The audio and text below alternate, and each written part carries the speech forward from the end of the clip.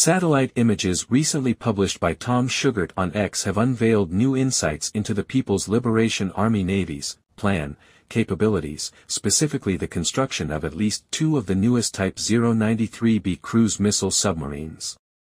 This is likely the first time this class of submarine has been captured in such detail, marking an important moment in the ongoing naval modernization of China's military forces.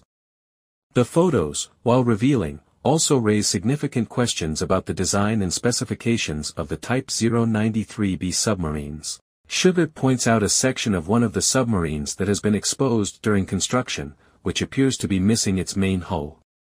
It is this exposed area, Shugart suggests, that offers a crucial clue regarding the configuration of the submarine, potentially confirming that the Type 093B class is equipped with 12 vertical launch tubes. This detail could significantly enhance the strike capabilities of the submarine, giving the PLAN an edge in terms of long-range missile deployment. In addition to the photos of the Type 093B, another image reveals two additional submarines at the Huludao Nuclear Submarine Shipyard in the People's Republic of China, PRC. While this provides further insight into the activities at the shipyard, Shugart is careful to note that, due to the lack of clear visual data and official confirmation, these submarines might not be the 093B class at all.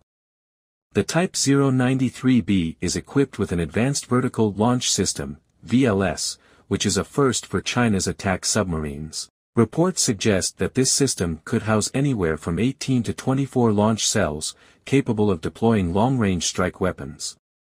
This capability potentially includes the latest submarine-launched version of the YJ-21 missile, with a range extending up to 2,500 kilometers.